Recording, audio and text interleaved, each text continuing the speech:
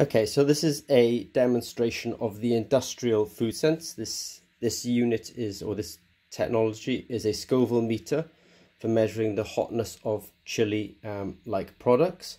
And I'm just going to do a quick demonstration of it. Um, it's very, um, no, it's really intended for people who are doing um, large manufacturing production of um, products like a chili sauce, or salsa or something um, or sort of some sort of spicy food that's got um, chilies in it um, got a lot of capsaicins in it. Um, and so what we're going to do is this this product involves four elements. We have the sensor itself um, which plugs into the meter. We have the um, app which is on the um, which is available on the App Store, and we also have the um, buffer. So what I'm going to do is I'm going to I've got a slightly smaller vial for the buffer here. It's easier to handle. So what I'm going to do is I will take the buffer. One, two, three, and four. Take four drops of the buffer. And then what we're going to do is take um, one drop of the chili sauce.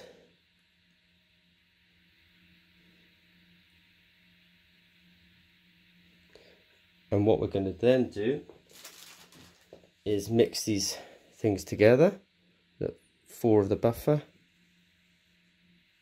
with one drop of the chili sauce. So it's important to remember that. So it's all mixed up. We put that, we put on the sensor. Now the app